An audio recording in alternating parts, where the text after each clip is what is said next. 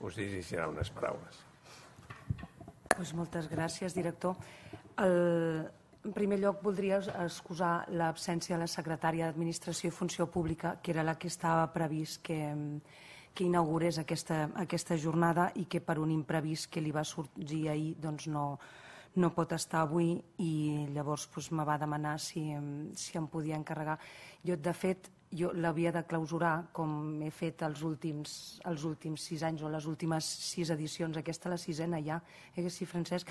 La sisena edició. Tampoc no tenia previst clausurar-ho tampoc perquè si la jornada d'avui és de la seguretat i salut en el treball, jo no compleixo els estàndards, crec, ni d'una cosa ni de l'altra avui mateix. I, i per tant, eh, quanta menys estona estigui segurament aquí doncs és millor per, per tots vosaltres.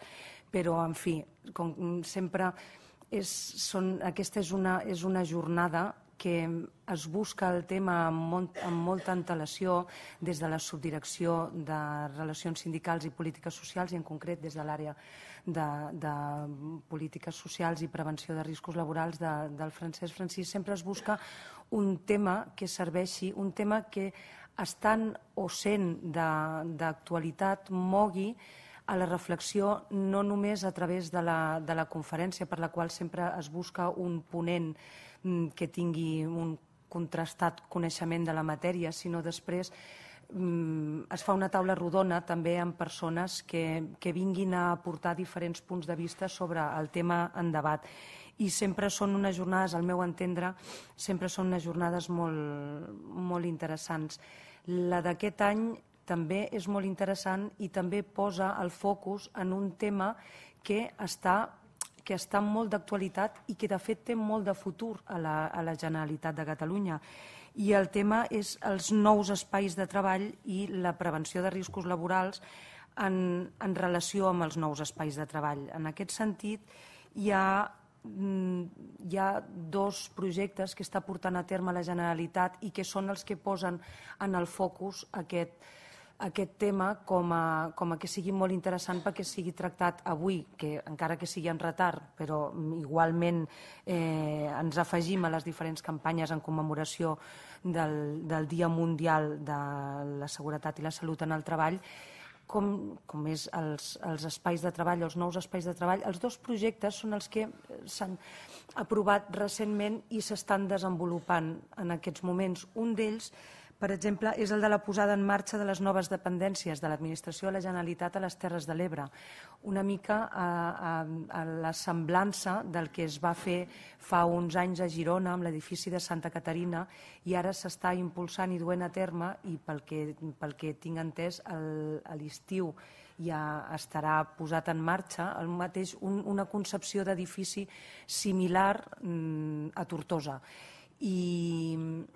i no només en aquest cas es tracta d'un trasllat o no només està enfocat com un trasllat purament de dependències i de racionalització d'espais, perquè de fet doncs, són, els diferents departaments els que es traslladen o els serveis de diferents departaments menys un que queden postes les seus dels diferents departaments que es traslladen a una seu comuna no només és un simple trasllat de persones, mm, taules, eh, arxius i ordinadors, sinó que es, es pretén muntar una nova concepció de l'espai de treball, no només de l'espai de treball, sinó un nou espai de treball com una nova manera de treballar i, i com, com unes noves formes d'usos dels espais de treballs i, de la, i, i, dels, i dels modes de treball. De la mateixa manera que, per exemple,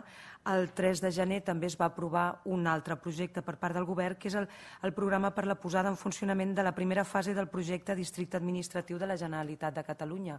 Eh, després vindrà una persona de la Direcció General de Patrimoni, vindrà la Isabel Tornavell, vindrà a,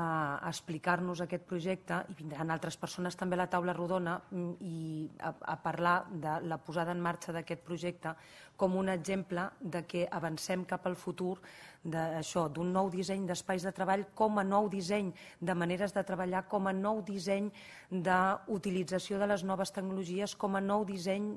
de, de les maneres que tots i cadascun de nosaltres eh, hem de, hem, hem de hem d'introjectar ja com, com a nou disseny en definitiva del que volem que sigui l'administració la Generalitat i la funció pública d'aquest segle, segle XXI. Clar, la prevenció de riscos laborals no és aliena a aquesta nova posada en marca, no és aliena en absolut. Al contrari, és una, és una part més i és una part fonamental d'aquest nou disseny dels espais de treball, d'aquest nou disseny de les maneres de treballar més col·laboratives, més en equip, més en espais diàfans, més amb, amb l'ús de les noves tecnologies com, com, el, com a manera de desenclar-nos d'un sol espai de treball o un únic espai de treball i per tant tot el debat que pugui haver-hi avui tant amb el conferenciant com a la taula rodona doncs serà d'extrema de, utilitat, eh, espero jo. Agraeixo moltíssim no només les tasques que, que han fet des de la subdirecció i des de, des de l'àrea en concret per oferir aquesta jornada, sinó també l'hospitalitat, com sempre a l'Escola d'Administració Pública, que després ja no només és el, és, el, és el receptor, com és la seva missió d'aquest espai de debat, la seva missió i la seva vocació, sinó que després, a través de la, la, de la difusió que em fa després de, de, de les xerrades i els debats que s'hi duguin a terme, és una cosa que després és reaprofitable, tant la conferència com les taules, com la taula rodona, com les intervencions, és, és un fet que després se pot posar en coneixement de tothom. També agraeixo molt a Cepello que, que un any més ens dona el seu recolzament per celebrar aquesta, aquesta jornada i agraeixo moltíssim la presència dels que avui ho esteu, ho esteu compartint. Mm, m'imagino que després la, la, la, la Isabel, que ve en nom de la Direcció General de Patrimoni, ens parlarà d'una enquesta d'un treball molt interessant que es va dur a terme a la, la primera setmana, en un període comprès entre el 6 i el 10 de febrer, una enquesta que es va fer a tots els servidors públics de, de les comarques de Barcelona, concretament a 8.662 persones que treballen en edificis d'ús administratiu de la Generalitat de Catalunya, exclòs el sector públic, mitjançant un correu intern. Jo voldria destacar que, que